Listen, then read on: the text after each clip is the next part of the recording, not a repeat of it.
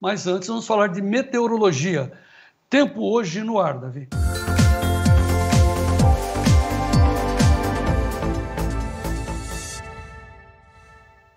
Muito bem, vamos começar com as chuvaradas que atingiram a divisa do Mato Grosso do Sul com o Paraná, na região de Porto Rico. Veja que chuvarada, olha como ficou a cidade.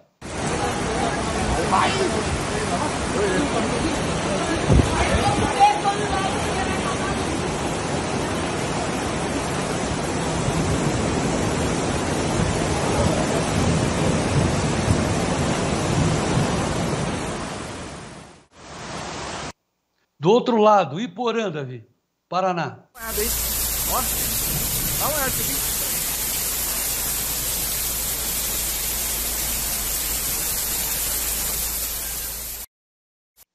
Também no norte do Paraná, entre Doutor Camargo e Ourizona. Olha o chuvão com granizo, Davi da Luz. Ah, gente, tá caindo pedra aqui, ó. Aqui no Santo Antônio. Tá ficando feio aqui.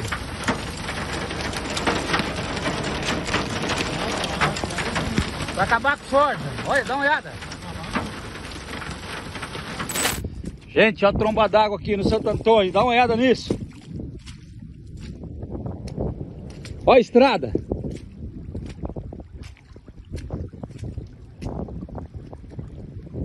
Escuta os unidos da... Olha ali.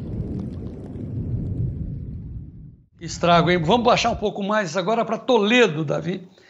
50 milímetros de chuva em 30 minutos. Veja aí.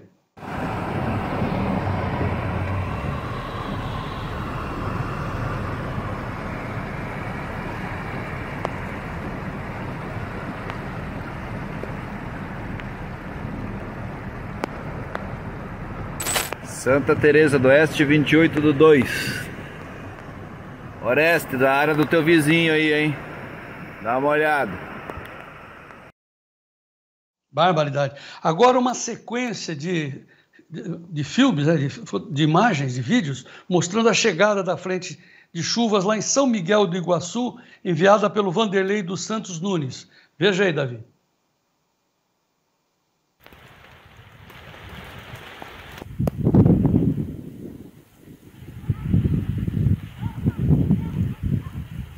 Olha o tempo, João Batista. Aí, João Batista. Tá vindo água aí, homem do céu. Tá difícil colher a soja.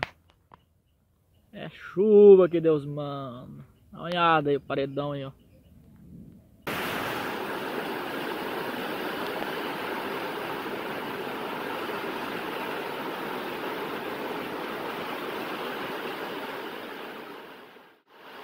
E para não ficar diferente, nós a caminho de São Paulo, ontem na, na, na rodovia dos Bandeirantes, olha a tempestade que enfrentamos. Veja aí.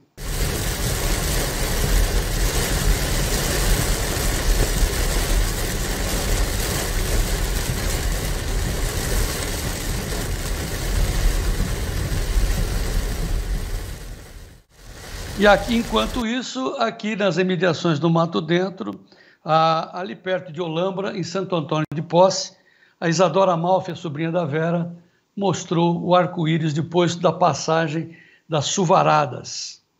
E para não ficar por fora, por baixo, a tia dela, a Vera, fez aqui o nosso arco-íris no mato dentro. Olha que coisa bonita.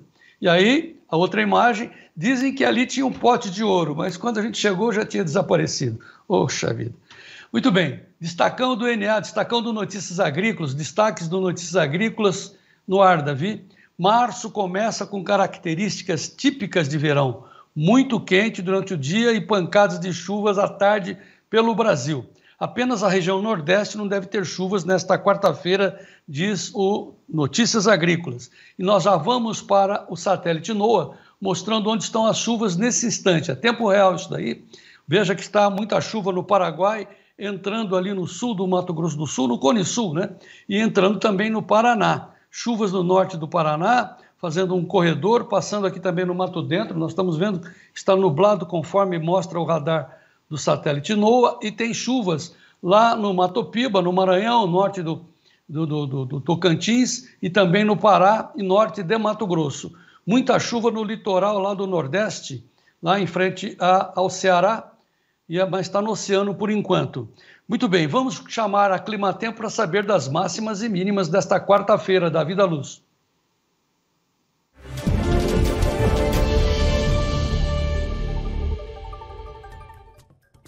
Nesta quarta-feira, a presença de um cavado meteorológico sobre o sul do país vai ajudar a formação de nuvens carregadas tanto para o sul como para o sudeste. Os maiores acumulados vão ficar concentrados na faixa leste do estado do Paraná e Santa Catarina e também na faixa oeste do estado paulista.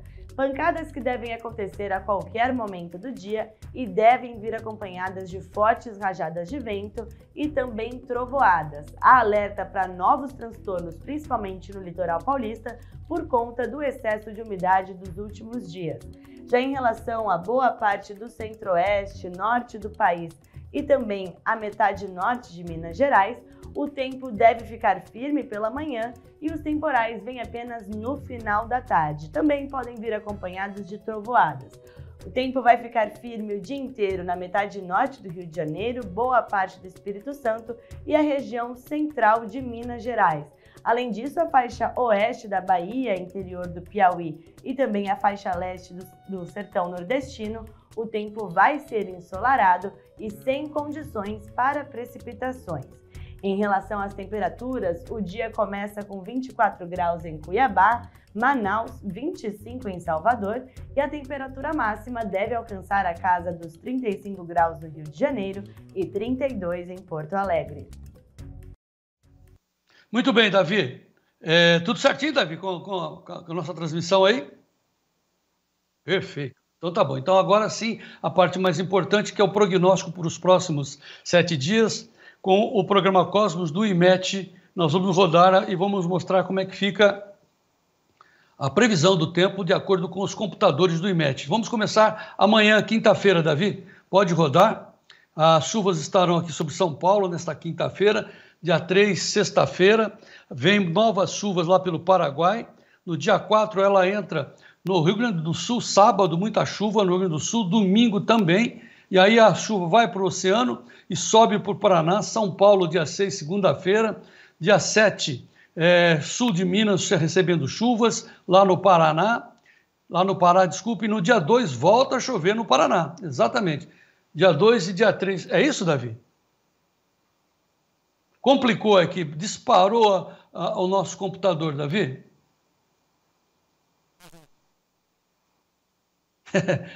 vamos repetir, Davi?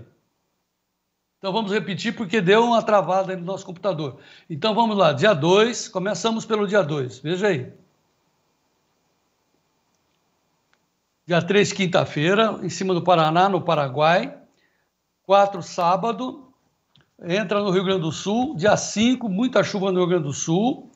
Dia 6, a chuva vai para o mar, a tempestade mais vem, uma outra formação, está lá no, no Pará no dia 7, e a, abre no dia 8, vem novas chuvas para o Rio Grande do Sul. É que você não suspendeu. Então, no dia 8, Davi, a hora que se travar, tem muita chuva sobre o Rio Grande do Sul se aproximando novamente. A segunda frente em sete dias. Certo, Davi?